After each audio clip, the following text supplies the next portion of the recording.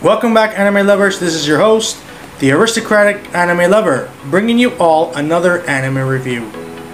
Anime lovers, today I'm going to bring you a shonen anime that is all about sports. You know, we all love sports, right? We love football, we love volleyball, we love basketball, you name it.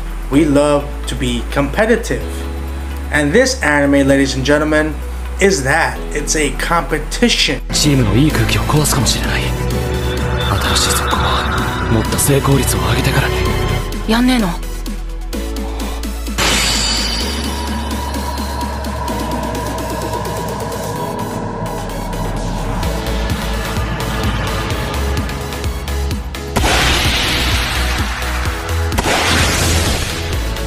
ボール来る。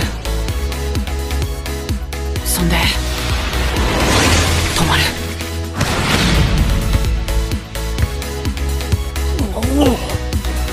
It's about sports.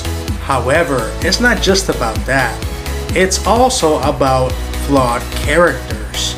The competition of them, wanting to win and not taking their losses uh, the right way.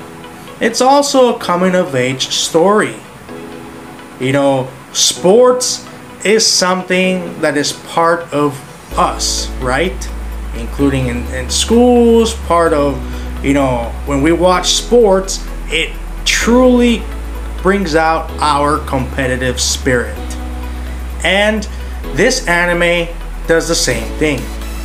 Due to its flawed characters and the competition in this anime of sports. It is great because you see these characters grow.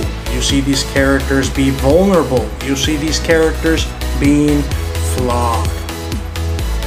You know, competition is a serious thing in life, especially when it comes to sports.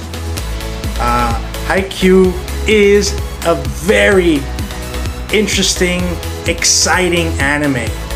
And due to that, I give this anime a 8.3 out of 10 because of the competition, because of the flawed characters, because of the coming of age story in Haikyuu.